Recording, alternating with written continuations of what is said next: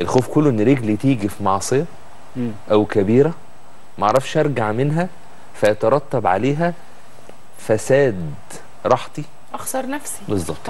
يعني فساد باطني وظاهري وأخسر نفسي وأخسر علاقاتي بالناس لأن المعصية بتحاصر الإنسان. يعني يعني اللي بيحصل هو الأول بي بي بيستمتع بالمعصية.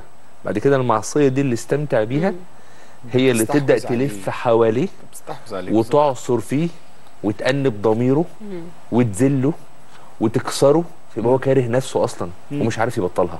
آه. دي بقى المعادلة الصعبة.